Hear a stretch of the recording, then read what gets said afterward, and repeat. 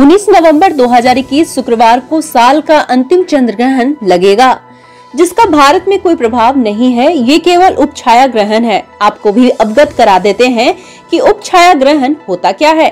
जब चंद्रमा पृथ्वी की वास्तविक छाया में प्रवेश किए बिना ही बाहर निकल आता है, उसे उपछाया ग्रहण कहते हैं। चंद्रमा जब धरती की वास्तविक छाया में प्रवेश करता है, तभी उसे पूर्ण रूप से चंद्र ग्रहण माना जाता है। उप छाया ग्रहण को वास्तविक चंद्र ग्रहण नहीं माना गया है।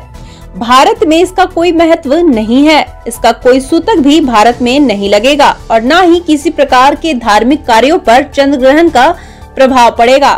केवल गर्भवती महिलाओं को सावधानी बरतने की आवश्यकता होगी, जैसे कि चाकू से कोई सामान ना काटे और सुई का प्रयोग ना करे।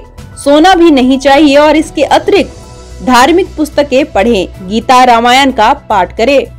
जिन जातकों की कुंडली में चंद्रमा राहु से पीड़ित हो, केतु से पीड़ित हो या फिर चंद्रमा शनि के साथ विष दोष उत्पन्न हो रहा है तो ऐसे जातकों को चंद्र ग्रहण के दिन सफ़ेद वस्तुओं का दान करना शुभ फल कारक होता है। हजारीबाग से प्रदीप पाठक की रिपोर्ट।